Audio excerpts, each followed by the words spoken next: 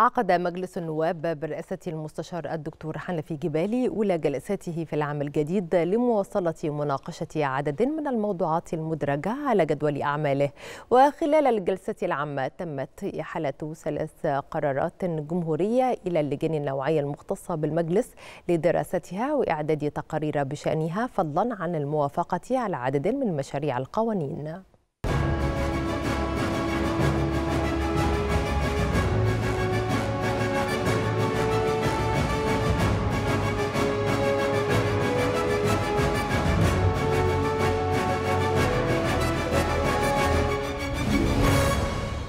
جلسة جديدة عقدها مجلس النواب برئاسة المستشار الدكتور حنفي جبالي لمواصلة مناقشة عدد من الموضوعات المدرجة على جدول أعماله. في بداية الجلسة تمت إحالة ثلاثة قرارات جمهورية ومشروع قانون مقدم من الحكومة بإصدار قانون إنشاء الجهاز المصري للملكية الفكرية وذلك إلى اللجان النوعية المختصة بالمجلس لدراستها وإعداد تقارير بشأنها. كما تمت إحالة إحالة 48 تقريرا من لجنة الاقتراحات والشكاوى للحكومة لاتخاذ اللازم في شأن ما ورد بها من توصيات. كذلك تم تفويض مكتب المجلس لتحديد موعد لمناقشة 31 طلبا مع مراعاة ضم الطلبات المتشابهة معا. تلا ذلك الموافقة على مشروعي قانونين مقدمين من الحكومة وذلك في مجموعيهما ونهائيا بمنح التزام بناء وتطوير تطوير البنية الفوقية واستخدام وإدارة وتشغيل واستغلال وصيانة وإعادة تسليم محطتي حاويات وذلك في مينائي الدخيلة بالإسكندرية والعين السخنة. مشروع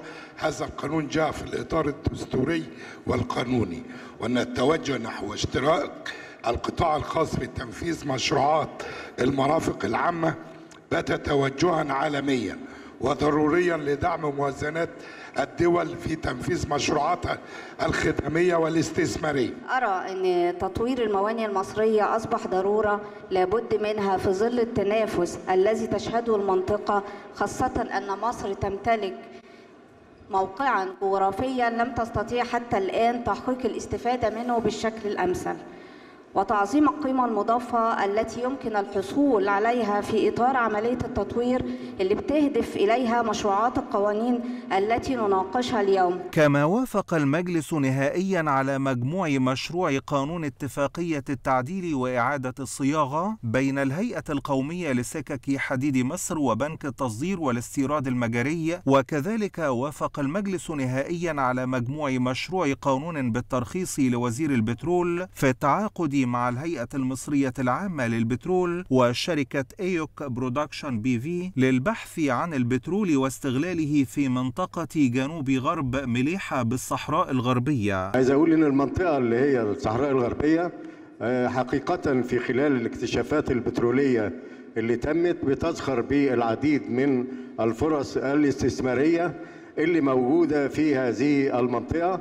وسعي وزارة البترول إلى تحقيق يعني كميات كبيرة من الاكتشافات أو من البترول في خلال هذه الفترة. الجلسة العامة وافقت كذلك على قرار رئيس الجمهورية بشأن الموافقة على مذكرة التفاهم بشأن التعاون الفني الاستراتيجي بين مصر وفرنسا لتنمية قطاع الهيدروجين الأخضر في مصر والتي تقدم فرنسا بمقتضاها منحة لا تتعدى مبلغ 500 ألف يورو من خلال مؤسستها المالية التنموية الوكالة الفرنسية للتنمية. وهكذا يواصل مجلس النواب مهامه وأداء دوره الرقابي والنيابي لتقديم أفضل الخدمات للمواطنين فضلا عن تقديم تشريعات للحكومة تساعدها على القيام بواجباتها.